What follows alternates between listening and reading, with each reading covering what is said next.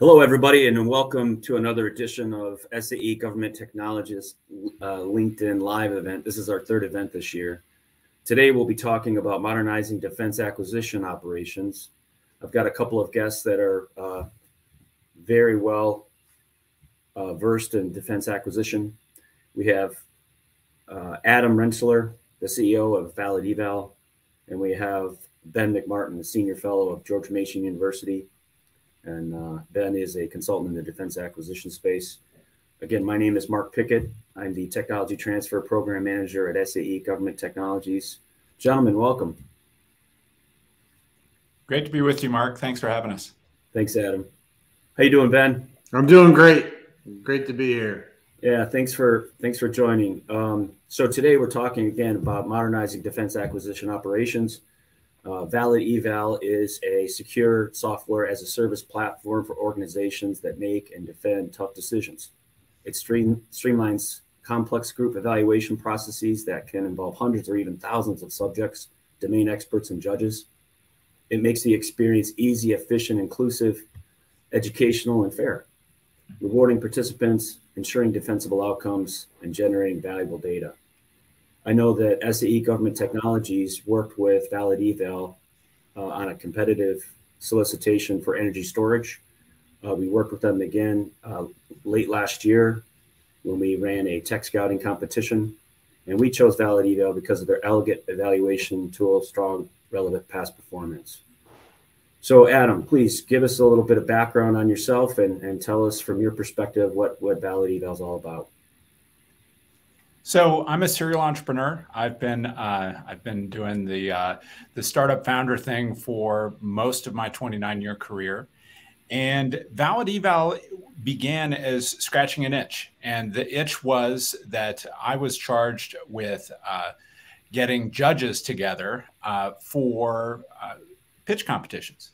And it really irked me that I would have all of these amazing venture capitalists and angel investors from my community here in Denver, Colorado, uh, impaneled, fire hosing the entrepreneurs down with wonderful oral feedback, and no one was learning a freaking thing. From my perspective, I had invested 12 person days in that endeavor. 12, per, 12 very valuable person days to come in and sit in judgment of all these entrepreneurs. And the fact that nobody got anything out of it, nobody's business improved, really, really bothered me. And uh, I, I, have a, a, a, very old friend who is a professor of education. His PhD is in a field called the learning sciences. And I was crying in crying in my beer one day uh, about this problem with him. And he said, "Oh, well, what's this pitch thing you people do?"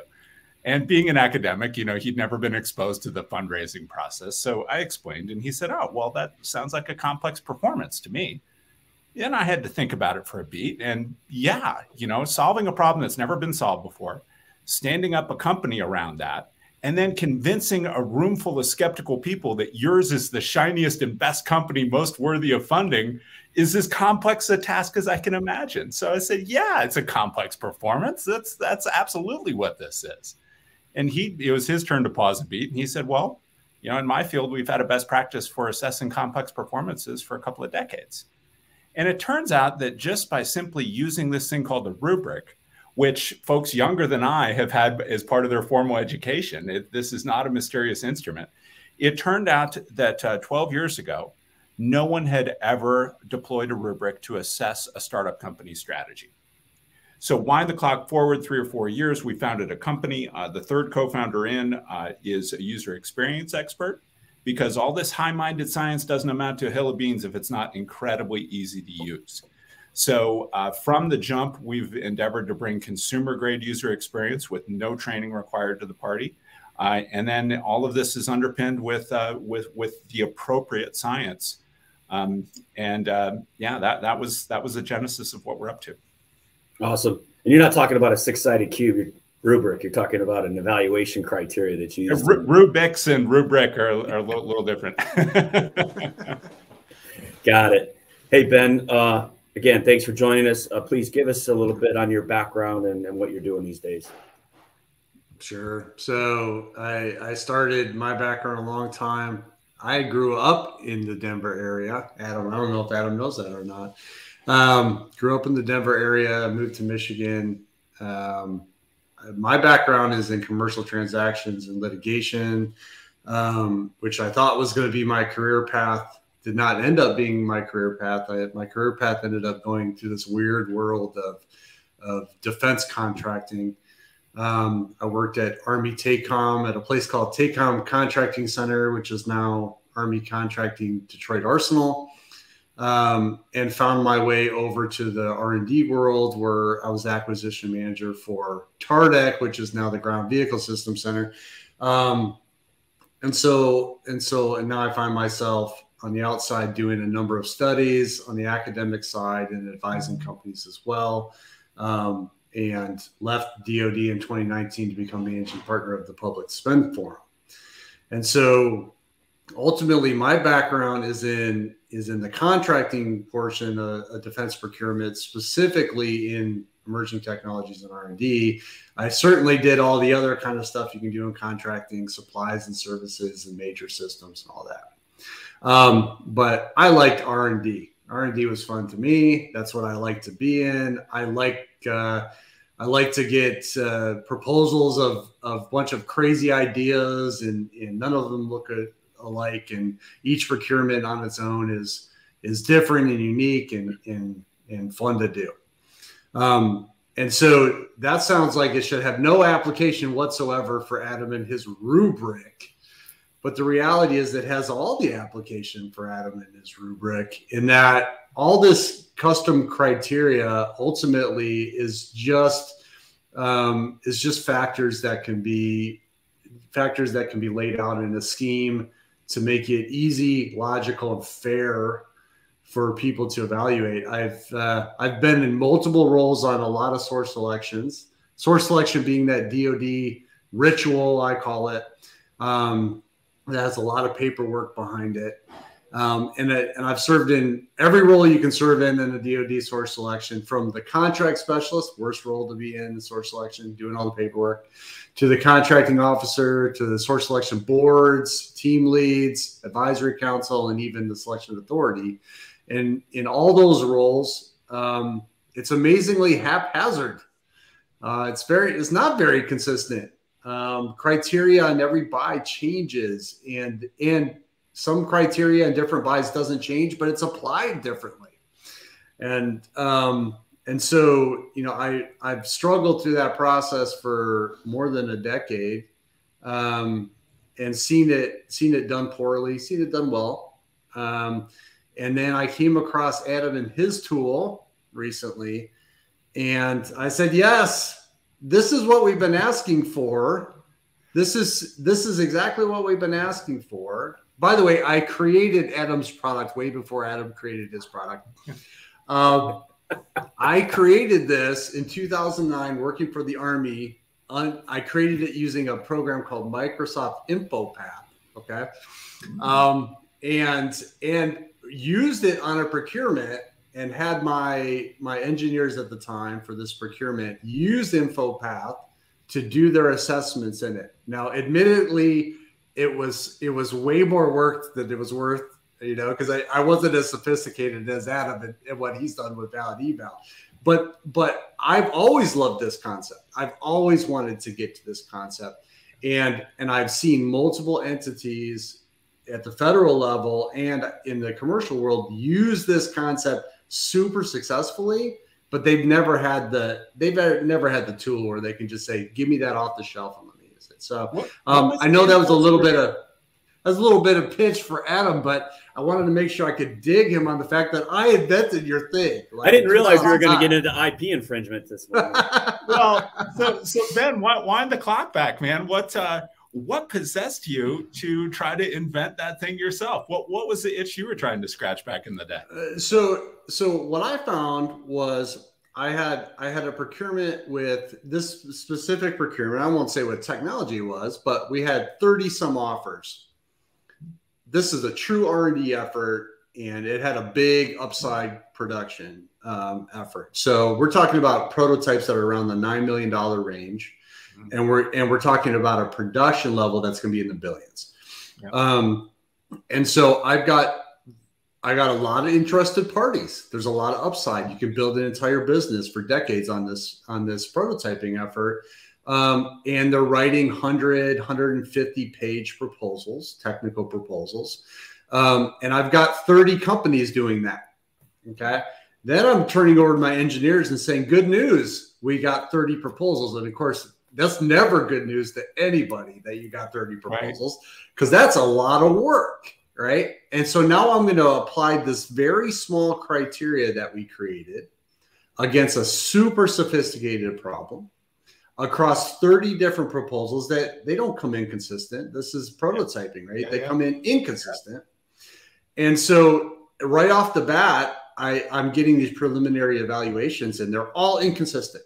Yeah. Oh, I thought that word meant this in the factor. I thought it was this way. I thought the weighting was different. Oh, I thought the weighting was a totally different way. Yeah. And so I've got a team of engineers that cannot agree whatsoever on what the factors actually are, how they should be applied, how they should be weighted. Yeah. Um, and and I said I need some standardization. We're never going to get through this without standardization.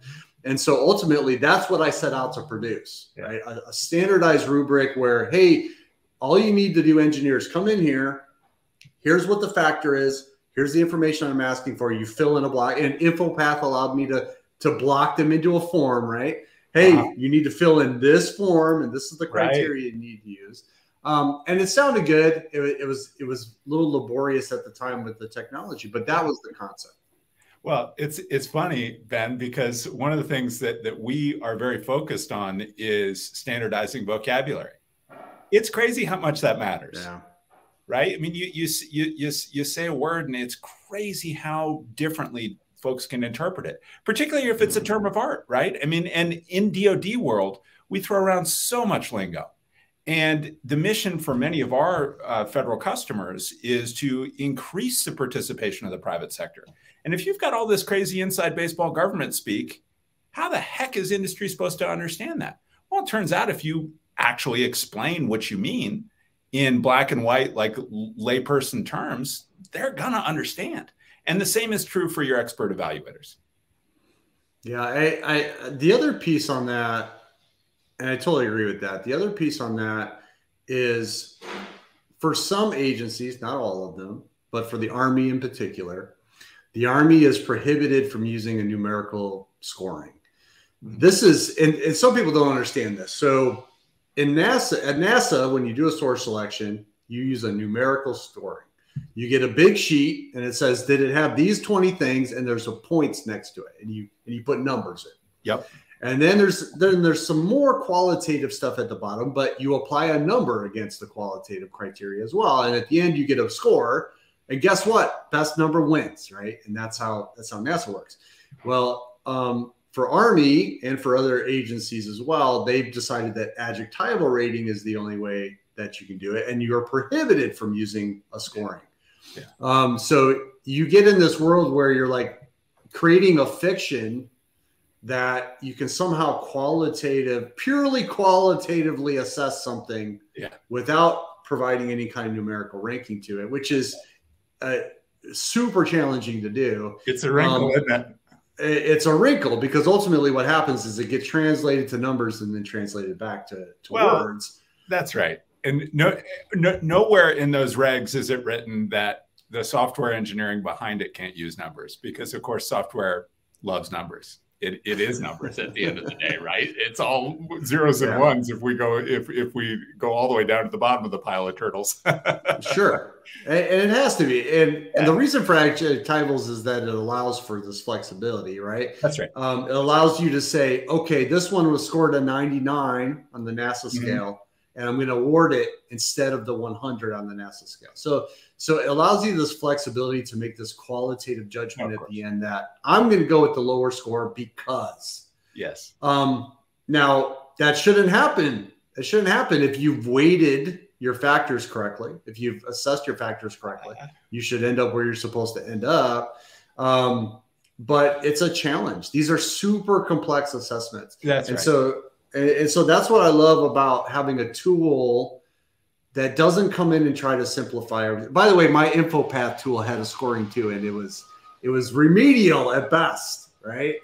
Um, excellent equals four, good equals three. Right? I, I mean, I mean, very remedial math. Um, I was an English and history major, and then I went to law school, so um, didn't do a whole lot of math in my life. Uh, so I did what I could do with the math. But that's what I love about having a tool like your tool, which is ultimately let's take something really complex and let's simplify it, which is the art, right? The art is to simplify the complex, and um, and and that's the key. The other piece is the reporting. And I know I'm I'm I'm dominating this conversation, Adam. Sorry, sorry you showed up, but reporting is or key. Mark. Ultimately, you have to report these things. You make evaluate. You write up evaluations. Evaluations have to go into a, a roll up write up. The roll up write up goes into an advisory uh, advisory council memo. Advisory council memo goes into an SSA determination. Um, of course, I'm speaking from the Army context here, but you have to write you have to write up you have to defend you have to report. And um, the idea that we're going to redo those or they're all going to be these word documents that we redo which is reality um, it's nonsense. We should be able to report out of a tool that shows us what the metrics are and how it and how we ended up. And uh, another reason why you need you need a, a tool like Value. Yeah for sure um, so let me try to put a bow on all that that was just, it was just stated. Um, and and let me take care of an administrative thing that I forgot to do at the beginning of this. This is LinkedIn live event, but this is actually pre-recorded because we had trouble getting these rock two rock stars together at the same time. So we had to we had to do it today, and it'll publish next week on the seventh of March. Uh, if you do have a question in the audience, you can send it to my email. We will get back to you. My email is mark.pickett on the screen here at sae-itc.org. All right. Adam and Ben, what I heard is that acquisition decisions are very complex. It involves a lot of paperwork. It involves a lot of human time, uh, man days to actually go through the process and, and, and make sure. And, and I would not want to be an acquisition professional. Tremendous pressure, um, very, very complex decision making, very critical programs to government agencies. And if we're talking about the Army, you think about the warfighter and the acquisition process of of tools and equipment that they need to to uh, to do their job and defend the country. Uh, so you know, very much high pressure, and they go through those acquisition uh, wickets because they're trying to make sure that they can defend their decisions. And and and and so I think that this tool, what I'm what I'm hearing is that it, it it's a time saver.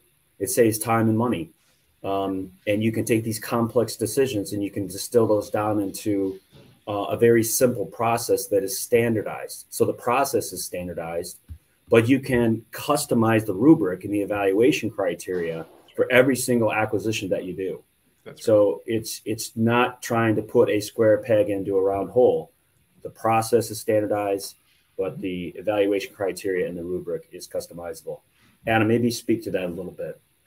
Sure. No, I think you, you put your finger on it really accurately. Um, so at this point, we've developed more rubrics than anyone in the world um, right around 270, 275 deployed to date. And by this week, that whatever the number is will increment by, by one more. Um, so it turns out that the entire process is anchored around whatever the criteria are and how they get distilled into this rubric, which is just a matrix, right? So um, the getting that right and getting that right early in the process is key. If you do that and you do it well, two things are true. Commander's intent has been accurately codified and captured in that document. That's thing one. Thing two is that industry and all the stakeholders clearly understand what the program's intent is, and they don't need any handholding to do so. So, if you can affect that, and i will assert that, that we've done pretty well at, at doing those two things. If you can't affect that, something pretty magical happens. Now, all of a sudden, the very busy commander can kind of dance out of the way and let all of the experts, all of the appropriate stakeholders from across SAE's ecosystem, from across the Army ecosystem, whatever it happens to be, all of those people can come in and participate in a consumer grade user experience where all they have to show up with is their hard earned expertise.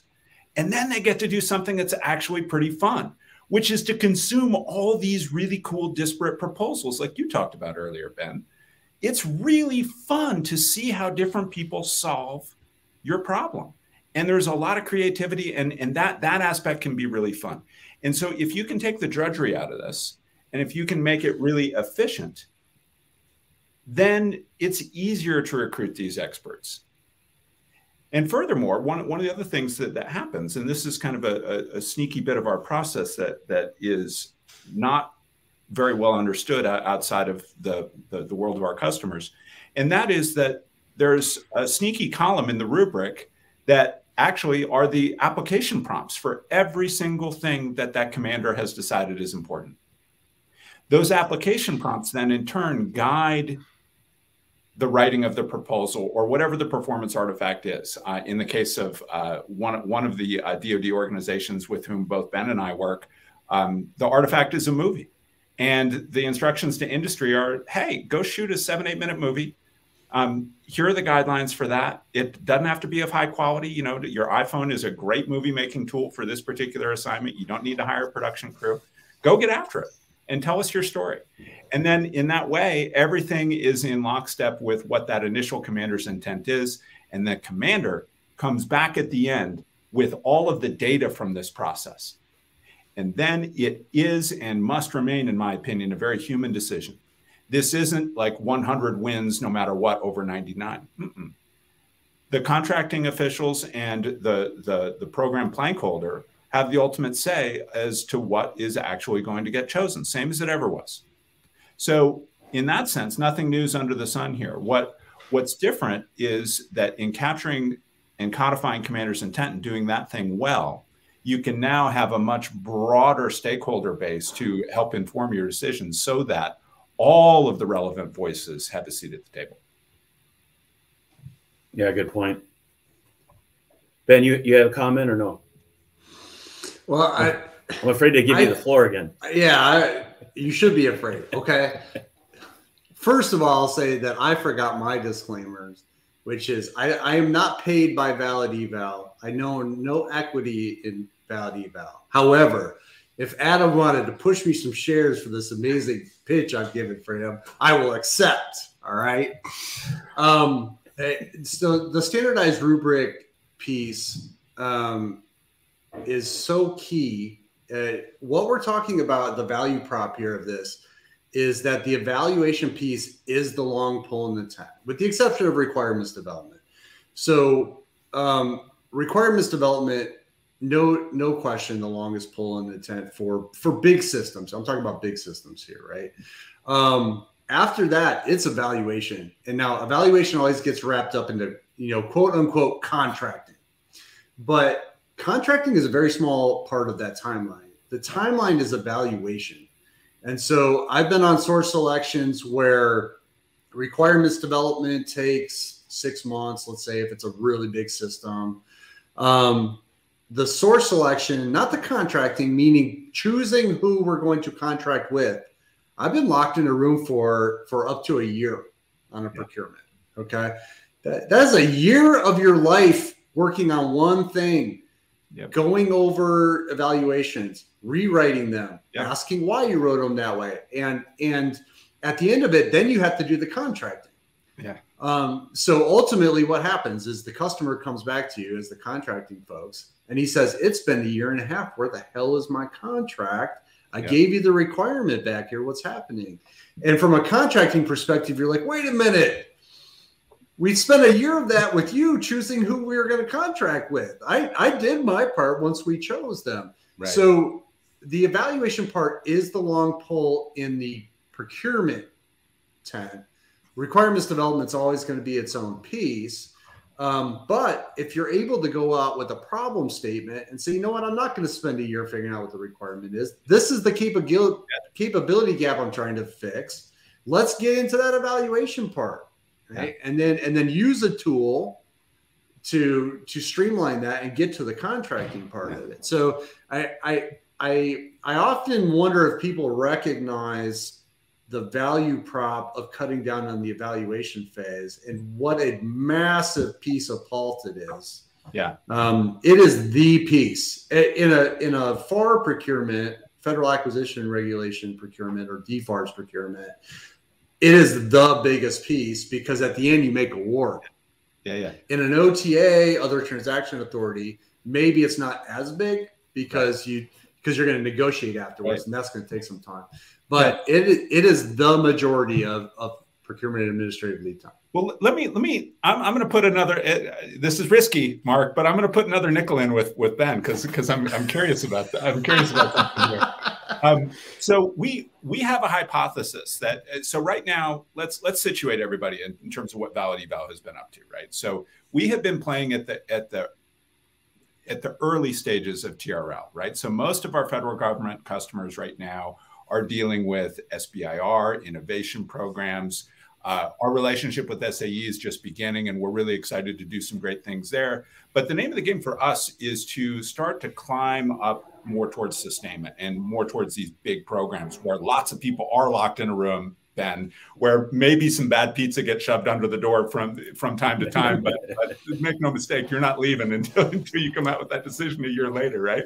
So yeah. in, in that environment, um, I've heard uh, Lauren Knausenberger from the Air Force and, and others claim that there's about a year spent on this thing, which is principally about protest defense right? It's it's my hypothesis, and you've been in those rooms, Ben. I haven't. I've I've I've always been on the private sector side. So, in those rooms, what percentage of your time would you say is spent in defense of potential protest, rather than determining which of these proposals is the most fit? Yeah, that's a man. That was a great point, and and I'm going to give you two different answers though. Okay. Because again, this is very dependent on what you're buying. Um, in a professional services recompete, let's say I'm going to do a billion dollar buy of the next, you know, on-site support for for overseas, and it's going to be, you know, two thousand bodies in Afghanistan or something. Um, I know what that requirement looks like. So requirements development is easy for me. It's going to go quick, right? It's do the thing I did last year. Same as the last year. contract with a yeah. recompete. Yeah, yeah do, do, that thing again. Yeah, but do the recompete on it, right? So what am I concerned about? I'm concerned about probably driving down price because I've already bought it once. I I fleshed out the risk on it. Um, and then I'm going to go. And then what am I going to assume because it is a support services contract? I'm going to assume protest is 100%, and it should be 100% because there is no risk in an incumbent not protesting a service if they lose it. There's zero. And, and if they do, they honestly give up six months of, a, of, of that protest time in which their people are still working. So if I'm a shareholder in that business, I'd say, why the hell are you not protesting right now? I know everyone hates that. It feels dirty, but why are you not protesting? you could be getting six months of this giant contract going on. So in those buys, people know it's a protest, so it's not a big impact in in terms of you know, like the protest is coming, you know it. Um, in a hardware buy, it's a different story. I am trying to avoid that damn protest. I got to get hardware out in the hands of somebody. I don't have time for this, right? Um, and so in those in those uh, situations, I do an initial eval. God, that initial eval ends up looking pretty much like the final eval. Um, I do some revisions to it. I make it bulletproof. I document. I document all day. I stay on the weekends and just document things to document them, and I become invincible. I create an invincible contract file, right? And how do I do it though? I muscle it. I throw more people at it. I throw more hours at it. I throw more documents at it, and I make myself bulletproof. Now, the, the downside of this is I am going to win that protest. The government's going to win the protest, and, and the statistics show that they will. Um, it's very rare that they're going to lose the protest, but at what cost? Yeah, I'm going to be in the room for a year. All I'm avoiding is a hundred day protest, right? But I'll tell you, I tell you though that it's we, we should be so lucky if it's a hundred day protest, right? I mean, uh, think, think we should be Fueling program for for the Air Force, right?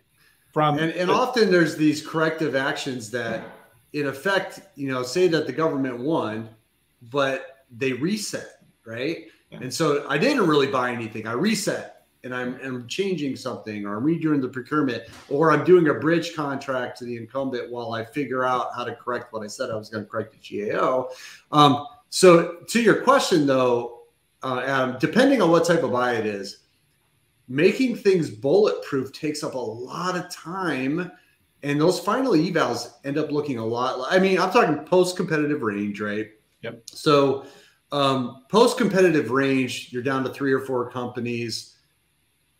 It is what it is. They're not going to make major changes on on fpr they're, they're going to come in pretty close to where they were at. You're going to have some adjustments but those evaluations are going to look pretty much very similar on post competitive range through final, but that might be six months post competitive range to final. You're just making them bulletproof.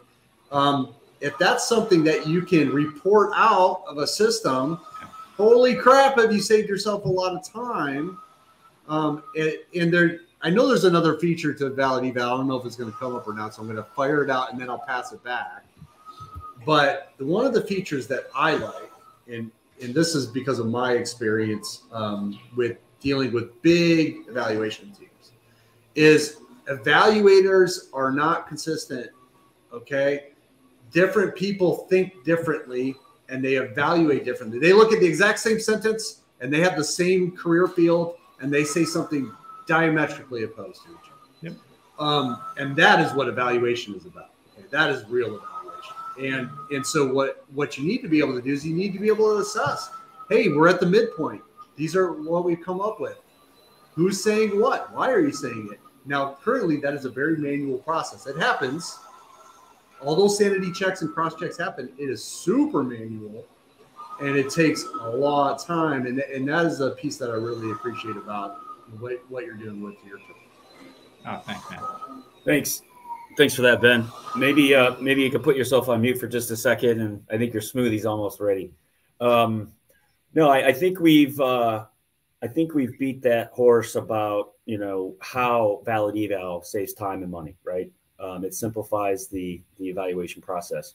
But when you when you think in terms of you know government acquisition professionals um, operating in a um, in a you know an, an environment where they're trying to mitigate risk you know, have defensible decisions, avoid the protests, um, leaving the life raft of what they've done in the past and going to a new tool or a new process.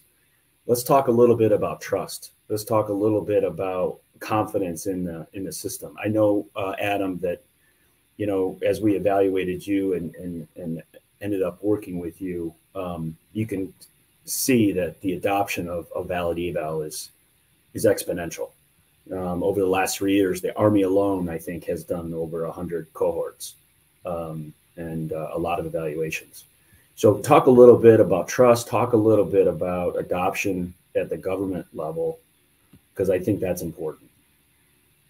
Yeah, so there, um, there's actually a, an interesting. Um, I've got a presentation I've got to make in Austin here in a little bit um, and so I actually pulled some numbers from the uh, National Defense um, Industry Association, the NDIA. And it's interesting. The one of the top challenges that NDIA members cite is the burden of acquisition paperwork on the one hand, and then the need to streamline the acquisition process is uh, the most important thing, says industry about DoD. The um, so I know that that's not trust exactly, but um, but there's a bigger problem here that NDIA and others are silent on in terms of how to solve it, and that is the the dramatic um, shrinking of the defense industrial base. And so I think um, you know many, many of the many of the folks tuning in uh, to to to to this video. Uh, will be painfully aware of the fact that there has been a dramatic drop off in participation with the Pentagon uh, from the private sector at a time where we need the opposite to be true. We need we need America's best ideas if we're going to continue to be the arsenal of democracy and and have a hope of outpacing uh, some very aggressive peer and near peer rivals. Uh, we've got to get our act together. And if you go out into innovation uh, ecosystems, uh, whether it's Silicon Valley or Austin or you know Denver, the Detroit area, um, there isn't a very high level of trust. I, would argue that the DoD's reputation as uh, as a business partner is, is, if not abysmal, close to.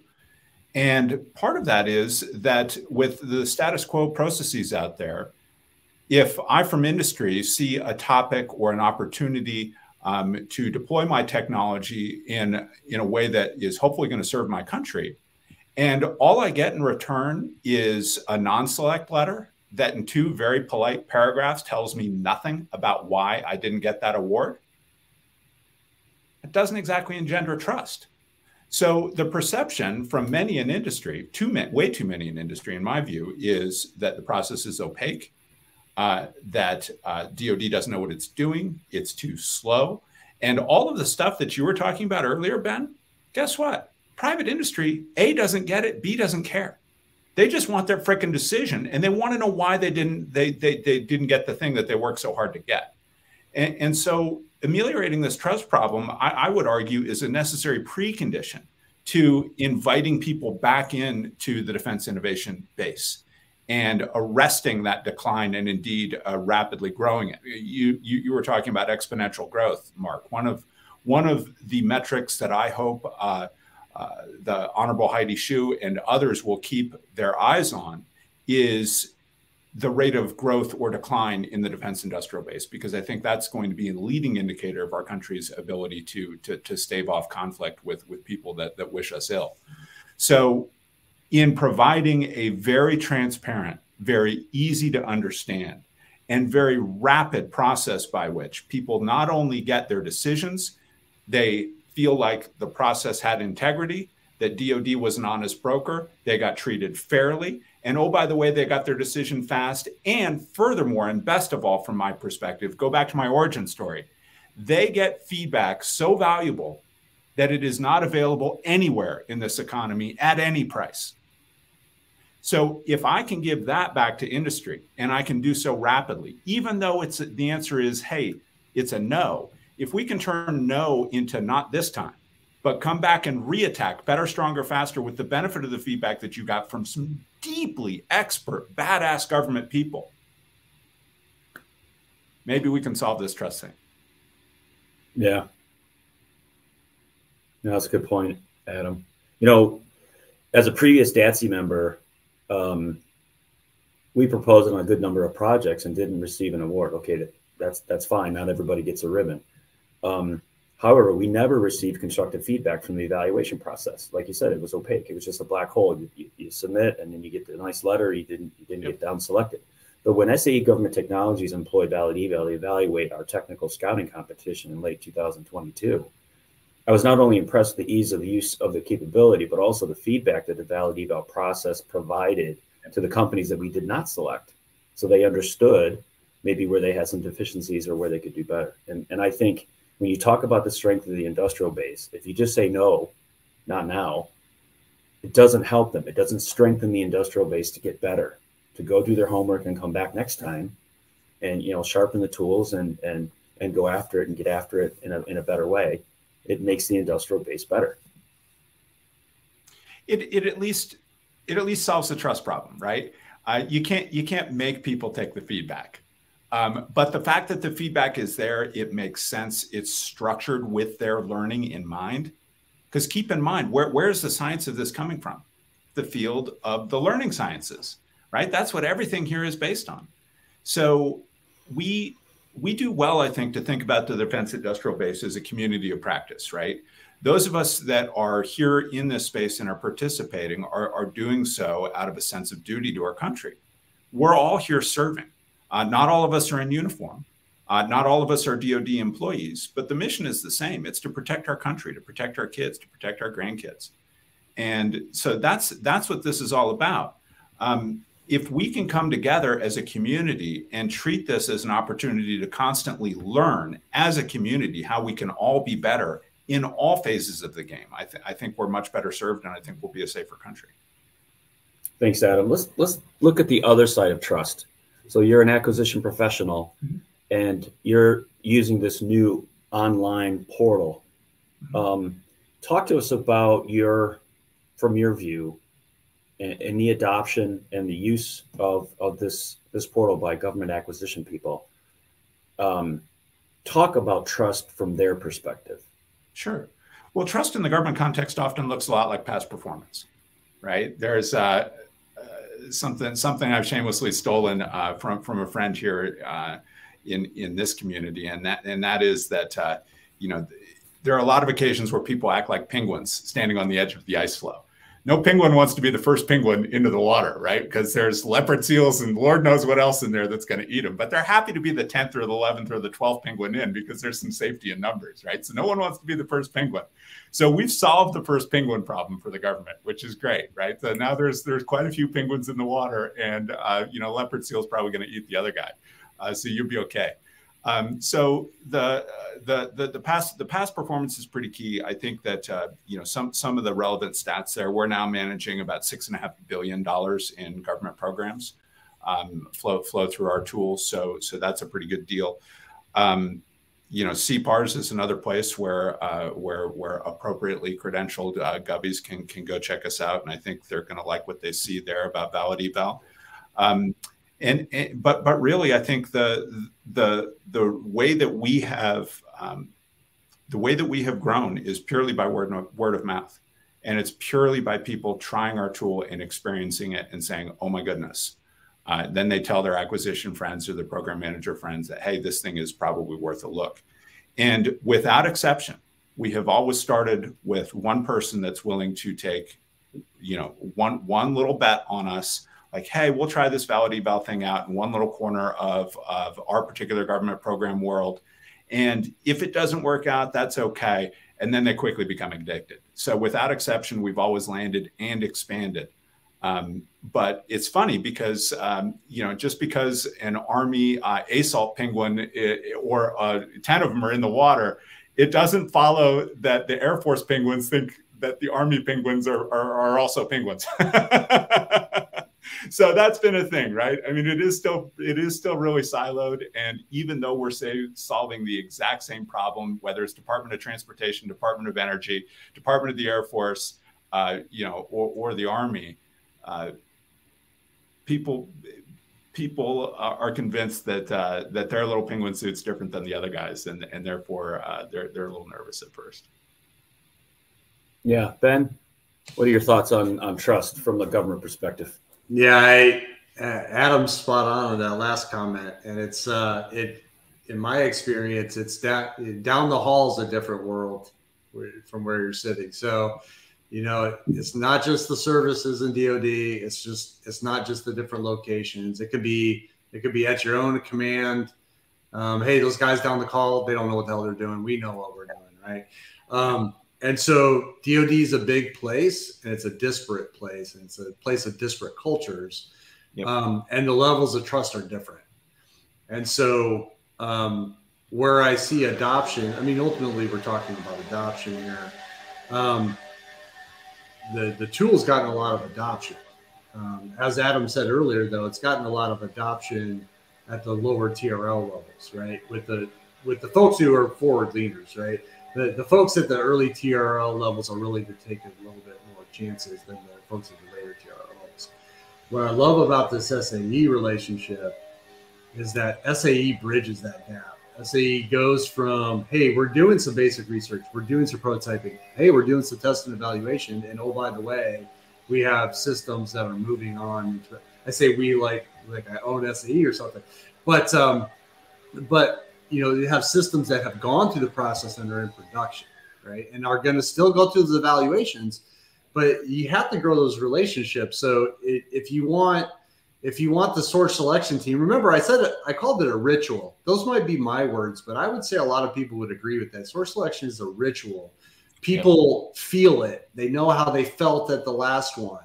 Yeah, there's some documentation on it, but people have a way of doing it right? right. Um, there are source selection center of, of excellence across, you know, the, the services. Those are folks that they live in the ritual. That's what they do, right?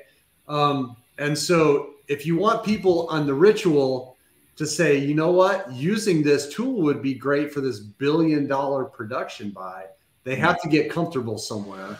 And so getting comfortable in a prototyping effort or in a test effort um, and getting to love the tool, getting to know what it can do, um, is super key to building that trust. You have to build it somewhere. Um, but land and expand, there's a lot of landings that happen to DoD, right? Yep. You have to You have to land at a lot of different places, get them comfortable at a level, and then expand to it. And but partners make it happen. So you know this SAE partnership, the other partnerships that Valid Eval has built that I'm aware of, um, that's the key. You get some champions on the inside, and then they work it for you. Yeah, thanks Ben for your for your perspective. Um, the other thing, you look that, how I, I I commandeered SAE for myself at some point in that in those ramblings. Yeah, that's fine. Come on, you can you, come on aboard.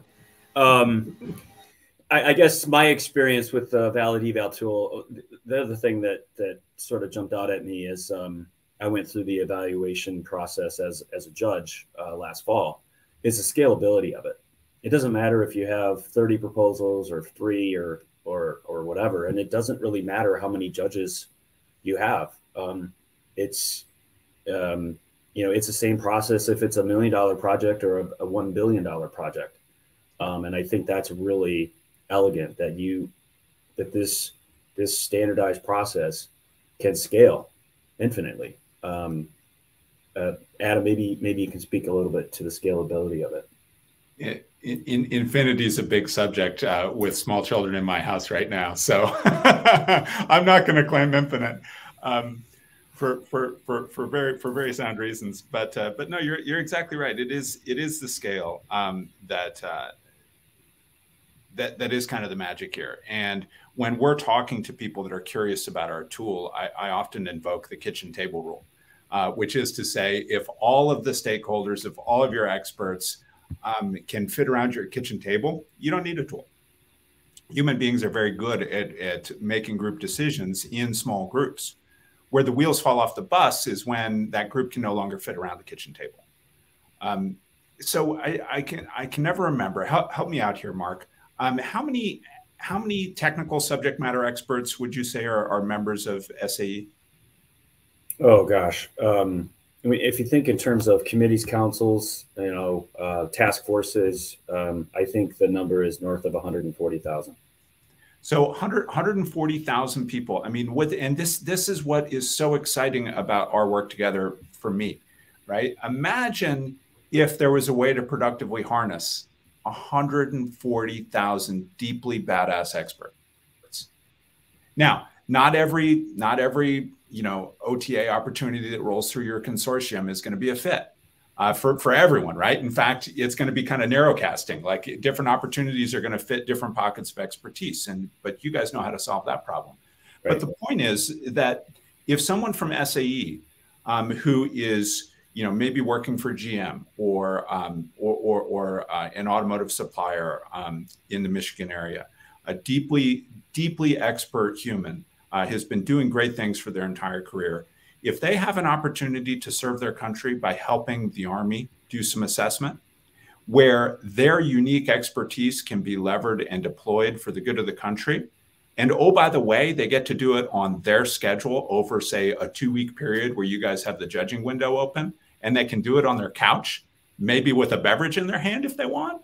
Um, that's a pretty neat way to be able to serve your country. And oh, by the way, we routinely close the loop on the value add that these experts are bringing to the party. And it's not uncommon at all for the implicit value of those people to be north of $1,000 an hour. And so there's a lot of ways to serve, uh, to serve your community, to serve your country. But rare is the opportunity where your expertise can be deployed uh, with an impact of $1,000 ish an hour. Um, so that to me gets pretty attractive. And again, if we properly codify commander's intent, if it's a, a combat uh, combat vehicle concept of some sort that, that we're trying to get expertise on, and maybe you need some suspension people to come uh, and, and look at a component design for that it's really pretty amazing to be able to scale that with confidence that commander's intent has been captured. And now we can also have those technical SMEs in here. And we can do so with the scale that only a software as a service platform can deliver. Exactly. Exactly. Ben, you have a comment? His, his, his vacuum does. my, my, vacuum cleaner does. Um, No, no, I don't have a comment. I want to get on. I want to get on to some of our, our other points that I was hoping we would get to on here. Um, so I'll let I'll let you go to your questions before I hijack you. No, it's fine. Um, late for that, Ben. Yeah. Go ahead, Ben. We're we're we're about ready to wrap up. I want you to get your points out there. My goodness, sounds like you're uh, you're making lumber. yeah, he's in a sawmill.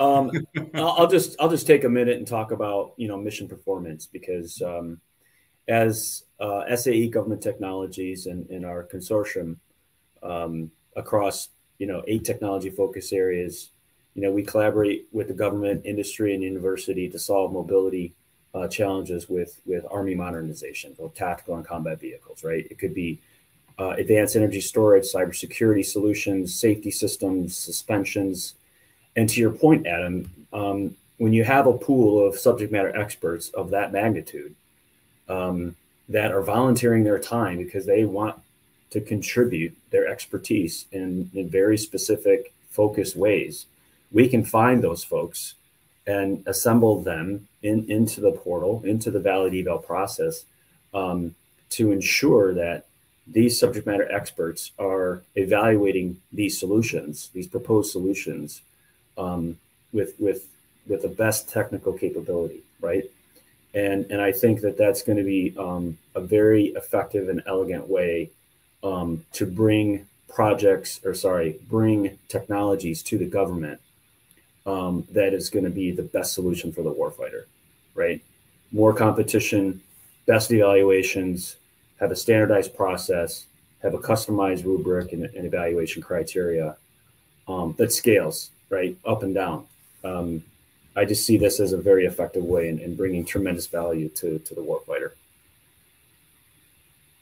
I, I, I agree.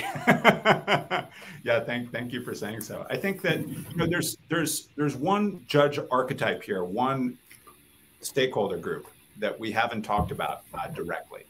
So we've talked a lot uh, about acquisition professionals and what it is that they need and, and you know time savings and, and protest hardening and all that good stuff.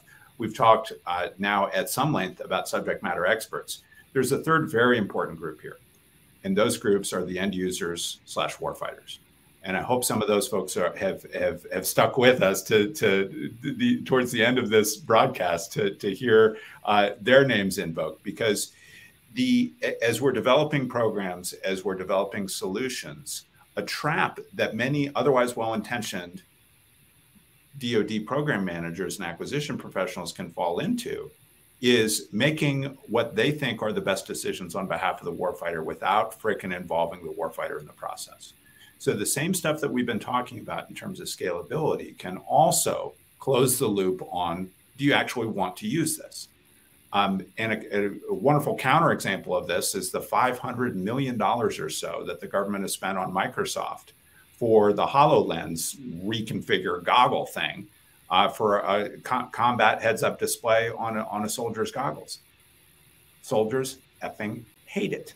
It's an awful system. It's not enhancing their performance in the field. And I, you know, I, am not read in onto the whys and wherefores of how those decisions were made. This was not a valid eval program. Um, however, I have to believe that if early versions of that product were evaluated and tested with the warfighter uh, at the table, we wouldn't have wasted so much time and money on this program. Good point. Yeah, a piece on that. Um, and so, you know, early on, um, in early on in the DATSE, I'm going to go back in time to the DATSE day. So there, there was a time when I was on the government side, um, way before Mark was around, um, and we did some fantastic outreach stuff um, with end users on these systems. Um, currently, I'm seeing this activity, and this is why I think it's so important to bring products like Valid Eval back to that customer base where I came from um, because modernizing tools and and democratize tools like a like a valid eval where I can have the end user I can have an evaluation team. I can have the end user actively engaged in the evaluation. Um, I can weight them differently. I can I can put focus on oh this one has a demand signal. You know that that's very important to me on on whether there's a transition pathway. Do folks like it? Are they going to use it? Right. That's your example you just gave. Um, all of those things that are, we can use. Oh, I, th- I thought Adam was talking to me, but he was double no, muted. I, am I'm, I'm getting some static about a car that won't start, so it's not as annoying as your vacuum, but. Uh... well, I got I got three kids at, at home as well, Adam. So you got to do what you got to do. Um, but the, but you can use these tools to have the end user involved the whole way through. Yep. Giving their input and they can give you the most valuable input because you can be halfway through and they can say, "Hey guys, I got bad news for you. I wouldn't use this." Right? Yep. But at least you know. At least you yep. know. Hey, yep. this isn't going the way we thought it. And especially in the R and D and prototyping world, that happens and it's gonna happen, and, and you need to be able to catch it at an early point. Yeah. And, and so look, if if you can divine a system whereby the contracting people are happy, they're involved from the jump the subject matter experts are convinced that this is not a solution that's going to violate any of the laws of thermodynamics. And in fact, it has a reasonable technical risk profile to it. We probably actually could deploy this thing. And then you get a clear and unambiguous demand signal from the people that are actually going to be using this thing, whether they're civilian end users or warfighters. You've got a really good shot at actually transitioning the technology in question and in actually deploying something that's going to matter, that's going to keep our country safe. Absolutely. Gentlemen, I want to thank you for your time today. I think we're uh, we're getting toward the end of our of our time. Um, I think your perspectives of, about this elegant tool um, are fantastic. Um, I'm excited to employ this tool uh, going forward, and I think it's going to uh, really bring tremendous value to to our government customers. So, really appreciate your your uh, contributions, Adam. Um, was a pleasure working with you on the last competition. I'm, I'm looking forward to working with you and your staff going forward. Ben, your government perspective is always always very valued. And, and so I, I, I want to say thank you to you both uh, for spending time with us today. Again, this LinkedIn live event uh, will will go live actually next Tuesday, the 7th. Uh, I believe it'll be 2 p.m. Um, but stay tuned. Again, thanks thanks to you both. All right, thanks, Thank you, Mark.